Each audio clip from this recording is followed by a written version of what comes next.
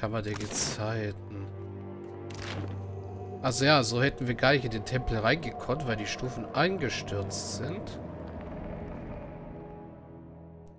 Neben der versiegelten Tür befindet, Tür befindet sich die Statue einer Frau mit Rissen und Moos übersät. Sie streckt ihre beiden Arme nach dir aus, aber eine ihrer Hände fehlt. Dir fällt auf, dass ein rauschendes, rauschender Flüster der Tod aus deinem Gepäck ertönt. Es ist das Horn der Tiefe. Es hört sich an, als käme eine sanfte, rauschende Welle aus der Muschel. Die Statue inspiziert. Sie sieht aus wie die wahre Darstellung von Ondra. Ihr Gewand hängt wie Bögen aus Wasser herunter, das, sie, das sich um ihre Füße wie die Wogen der Gezeiten sammelt.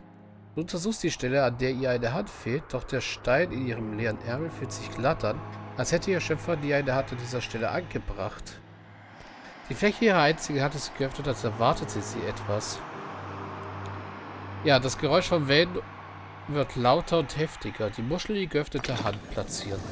Als sie die Muschel einsetzt, dröhnt donnernde, erschütternde Musik einer stürmischen See aus ihr heraus. Sie verfärbt sich zu einer wortlosen Melodie, die dich an Stimmen erinnert, die von unter der Wasseroberfläche zu hören sind.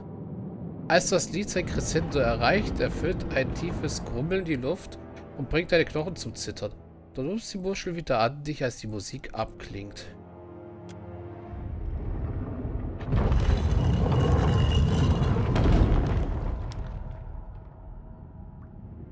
Ach je.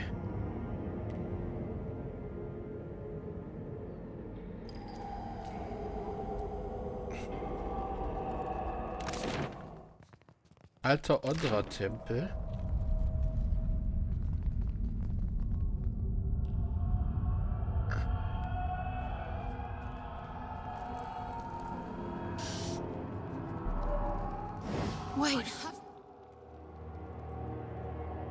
Riesige Höhlenmade. Okay. Hard to be a farmer and not be thinking about revenge right now.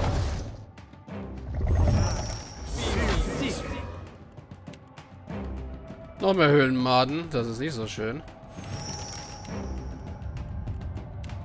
That's not very helpful. Wow, das hat wehgetan. Äh,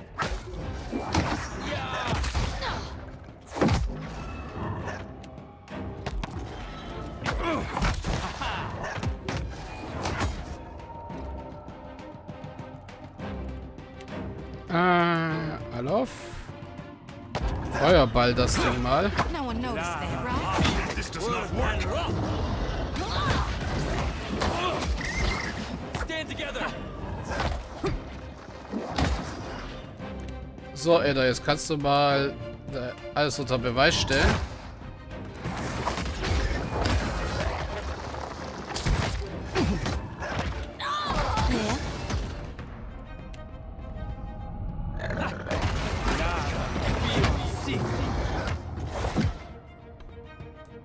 Problem ist, ich sehe manche Gegner irgendwie nicht so wirklich.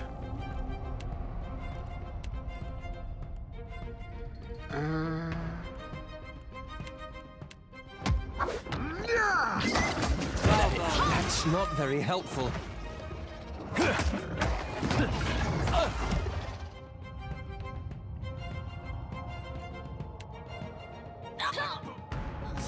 Jody's done for. Ich hätte sie nicht zurückziehen sollen. Okay. Ähm. Schnell speichern. Habe ich ja zum Glück. Ich hätte Quicksave machen sollen, bevor ich da reingehe.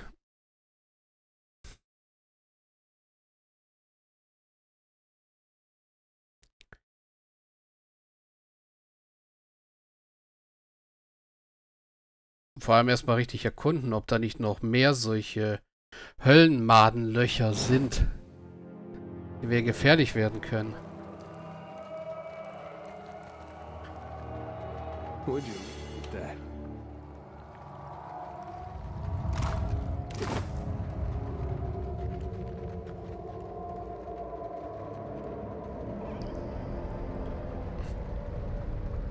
Und ich hätte vielleicht nicht so energisch auf das Vieh zustürmen sollen, sondern das lieber Äther machen sollen.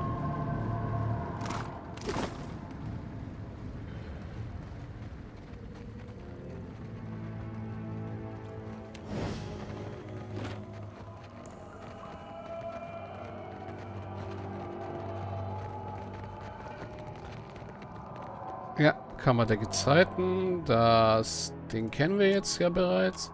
Statue inspizieren, die Muscheln hineinlegen, beenden.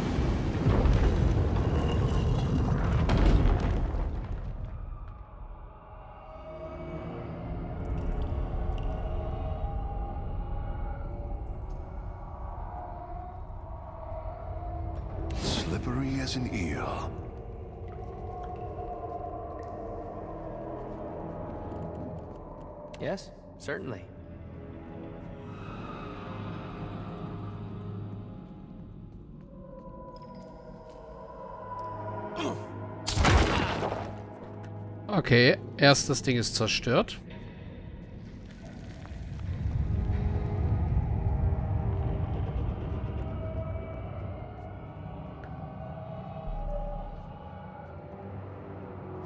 It's hard to be a farmer or not be thinking. Es ist schwer heutzutage ein Farmer zu sein und nicht auf Rache zu sehen. About revenge right now. I'd be glad.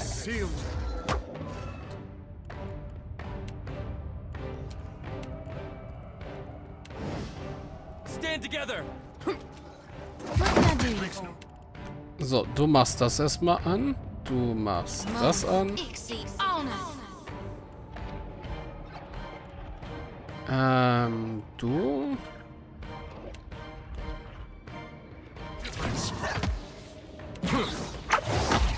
Kannst davon nichts verwandeln. Dann schläfern wir lieber mal ein.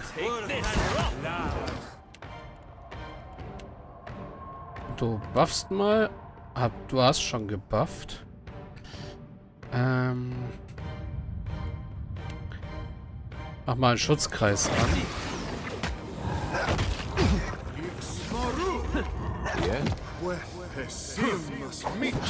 This does not work.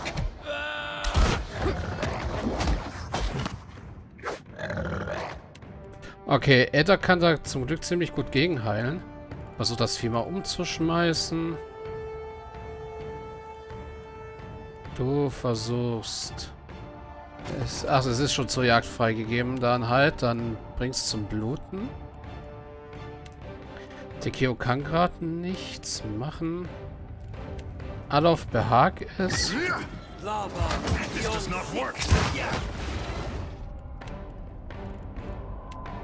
So, Edda, Rundumschlag. Not even close.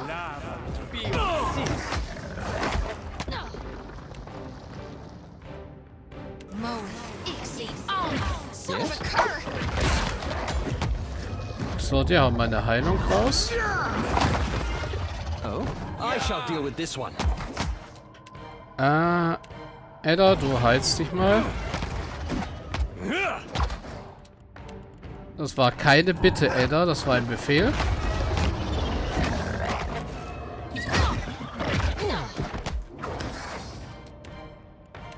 Du heilst mal ordentlich, Soti.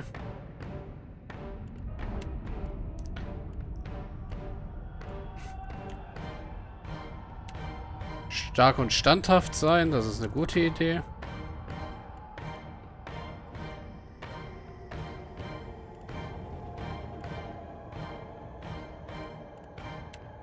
Fluggeschosse auf das Ding.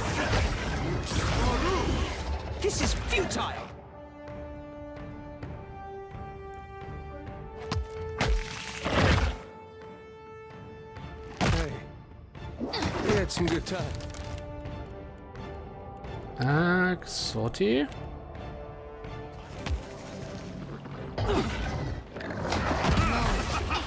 honor.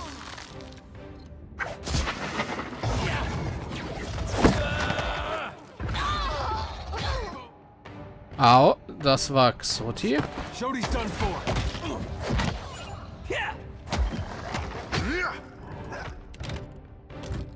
Äh, nein, nicht speichern, sondern laden.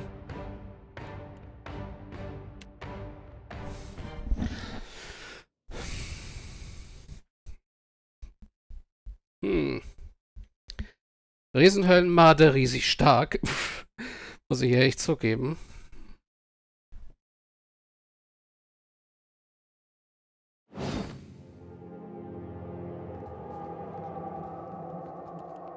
Yes? Absolutely.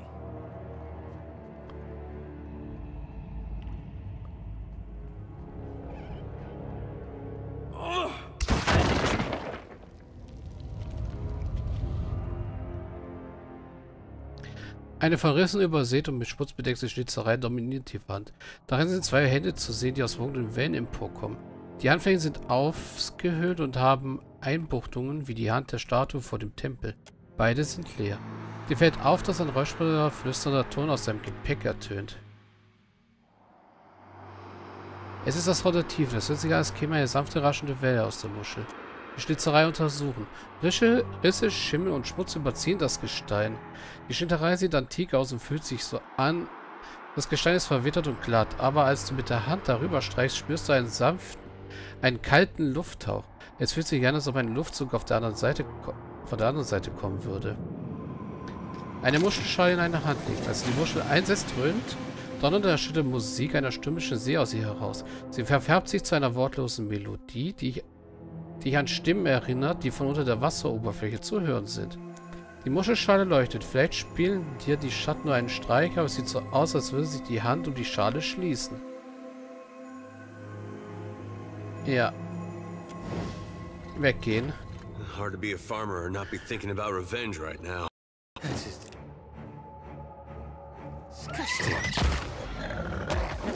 Seal this meat to Sorry, friend. makes no difference.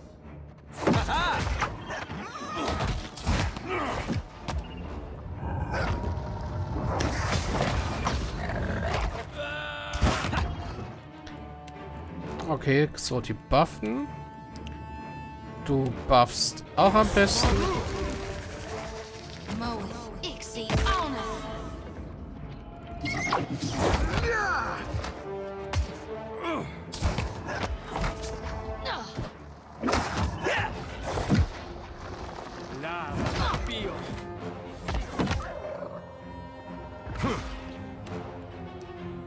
Äh, Heilung. Take that.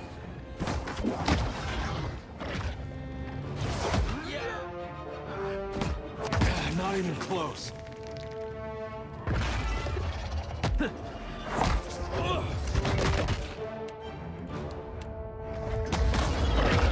So, die Superheilung.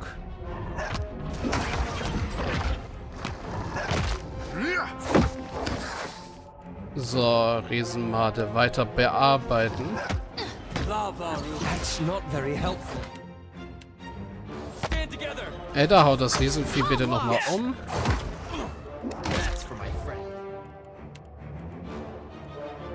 Oh, ich kann nichts mehr. Okay. Blitzen wir es mal. Blitzen ist noch mehr.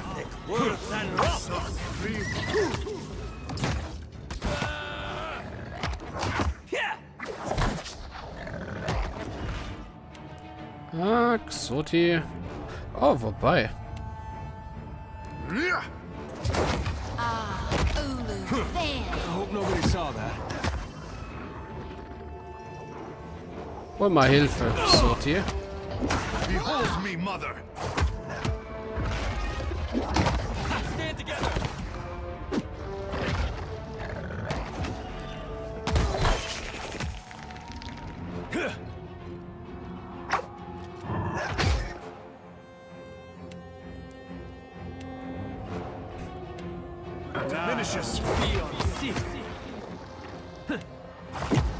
So, belebt mal wieder.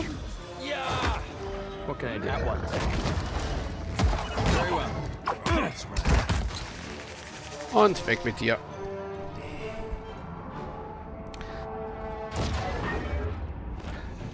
What can I do? Peridot, Maden. Certainly. Yes?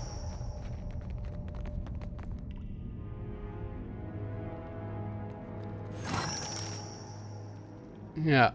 Muscheln, Babyperlen. Habt ihr abgeschirmt selbst? Dieses Waldgebiet stellt die, Stim stellt die stürmischen Gewässer dar, von denen die legendäre Stadt. Ukaizo. The origin of all Juana. I say it feels close enough to touch. Ukaizo, der Ursprung aller Huane. Es fühlt sich so echt an, als könnte man es berühren. Im Tempel fand ich eine Wandschützerei mit zwei Sockeln. Jeder hat die richtige Größe und Form, um das Horn aufzunehmen. Ich habe im Ondra-Tempel ich habe den Ondra-Tempel gefunden und sah ein aufwendiges Mosaik von einem Ort namens Ukaisa an der Wand. Das muss das Mosaik sein, nach dem Direo sucht.